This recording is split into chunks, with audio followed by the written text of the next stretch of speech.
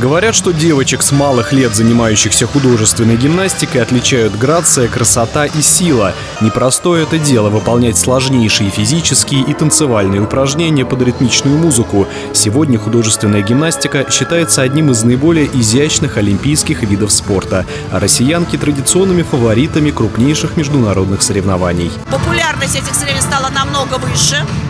Если в том году у нас были они в основном те гимнастки, которые представляли только Московскую область, то в этом году у нас они всероссийские. Нам приехали гимнастки из Калининграда, из Воронежа, из Москвы. То есть уровень соревнований у нас повышается, так же, как и масштабность этих соревнований тоже увеличивается.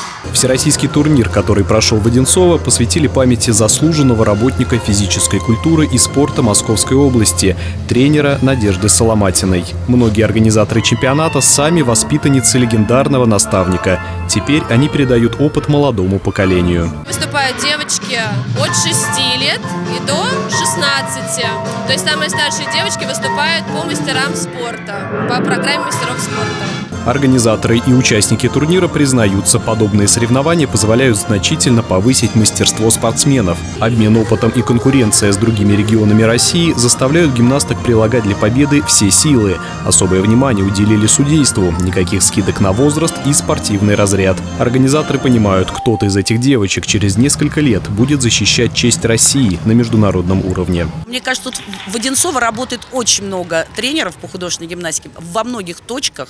То есть вот представительство города Одинцова, здесь есть разные организации от города Одинцова.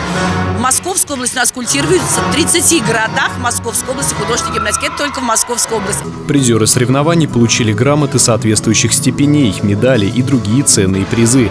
Возрастающая в России популярность художественной гимнастики позволяет надеяться на то, что подобные турниры будут проходить все чаще. Святослав Савенков, Денис Харламов, телекомпания «Одинцова».